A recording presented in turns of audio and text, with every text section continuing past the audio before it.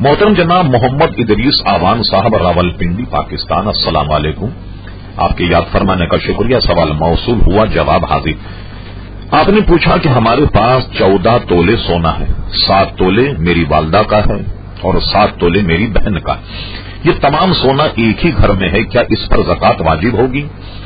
मोहतरम मोहम्मद इदरीस ऐवान साहब, ये आप सुन लीजिए कि सोना जिसकी मिल्कियत है पर जक़ात होगी। जैसे आपके पास चौदह तोले सोना है तो इसको चौदह शुमार नहीं करेंगे, बल्कि आपकी वालदा के पास सात तोले सोना है। अगर आपकी वालदा के पास सिर्फ़ सोना है और चांदी बिल्कुल नहीं, नकद रकम बिल्कुल नहीं, और ये सात तोले सोने के वो मालिक है, चूँकि सोना साढ़े बिल्कुल नहीं, और ये सात तोले सोने के वो मालिक है, चूँकि सोना साढ़े सात तोले नहीं है, इसलिए जक़ात नहीं होगी। कब नहीं होगी, जबकि सोने के अलावा कोई रकम या चांदी आपकी वालिदा के पास न हो।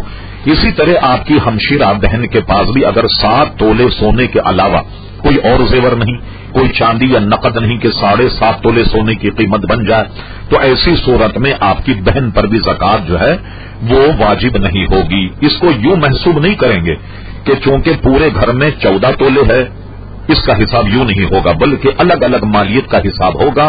अगर वो साढ़े सात तोले सोने की आ, मालिक है और वो सोना साढ़े सात तोले उसकी हवाई असलिया से खारिज है और उस पर सात बीत गया तो साढ़े सात तोले पर सोना देना सोने पर जक़ात देना ज़रूरी। लेकिन सात तोले हो और कोई चीज़ नकद न हो तो ऐसी सूरत में इन दोनों पर जक़ात वाजिब नहीं होगी।